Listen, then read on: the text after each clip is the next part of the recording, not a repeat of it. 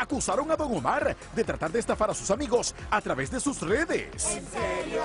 Truculentos mensajes surgieron en Instagram, en los que al parecer Don Omar tramaba una vil estafa a varios de sus seguidores. Sin embargo, pronto se pudo aclarar que fueron unos malintencionados hackers que robaron la identidad del Don, quien tomó acciones urgentes para solventar este asunto.